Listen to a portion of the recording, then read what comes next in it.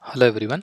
In this video, we are going to see how to route chats using queue-based routing in Salesforce. In queue-based routing, we will be creating a queue and then we will be assigning set of agents to the queue. Uh, for the incoming chats, Salesforce will route the chats to the agents who are uh, online in omnichannel and based on their uh, capacity it will assign the uh, incoming chats to the agents who are uh, av available uh, online in omnichannel and who are part of that particular queue. Uh, so let's see how to set up uh, the queue based routing. And then we will see a simple de demo of um, invoking a chat or initiating a chat. So first we have to go to omni-channel settings under setup and then we have to enable omni-channel and then we have to click save. Once omni-channel is enabled next step is to create a routing configuration. So this routing configuration is to route the chat um, and here one more important thing is units of capacity.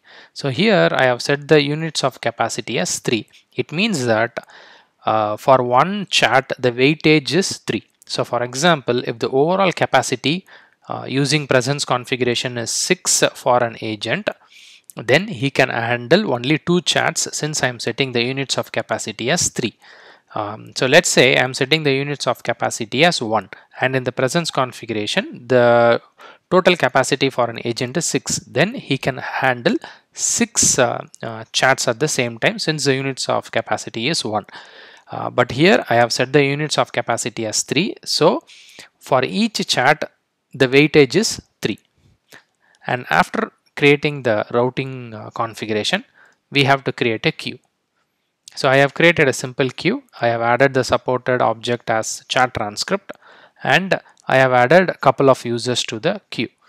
Uh, one best practice here is for each queue have only one object uh, in queue we can add multiple objects but that is not meant for omni-channel. For omni-channel routing the best practice is create each queue for each object. So that is one queue per object. Do not have multiple uh, objects as part of the same queue because uh, queue is first in first out uh, so agents uh, should be available for all the objects whatever we add here so that the routing happens uh, smoothly for you. Okay. Next after creating the queue we have to create a chat button. So I have created a chat button. I'm using the routing type as uh, routing type as omni-channel and then I'm using the queue which we created. And I have enabled the queue and then I am setting the queue size as 3 per agent. So if I am an agent uh, if I'm actively working on uh, two or three chats uh, if my capacity is full there may be three other chats which can wait in the queue so that it gets assigned to me or with the other agents. So I have uh, created a simple chat button. Next is chat deployment. So I created a simple chat deployment and using the HTML code uh, from the chat button and from the deployment code I created a HTML uh, um, uh, page and uh, I just loaded the page now. So now let me go online in omni-channel.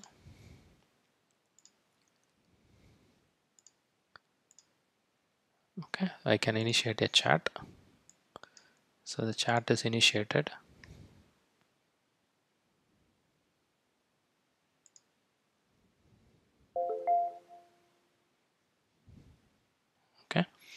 so the chat is initiated as an agent. I'm just typing test.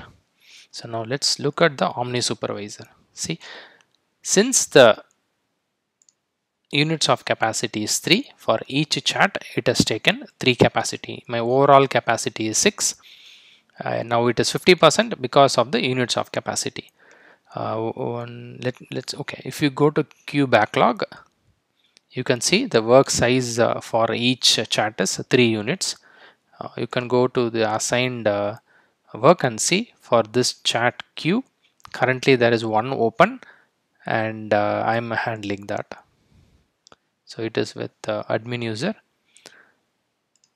Uh, one important thing to note here is you will see all the requests in the assigned work that are routed via queue if the chat or case or anything is routed via skill based then that won't appear in assigned work. So important thing to note. Maybe in the future we may have skills uh, uh, assigned work. So during that time we will be able to see.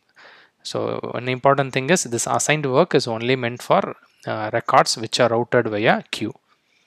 So this is how we can easily set up uh, queue based routing and then uh, we can uh, start getting and routing uh, chats to the agents. Thank you for watching.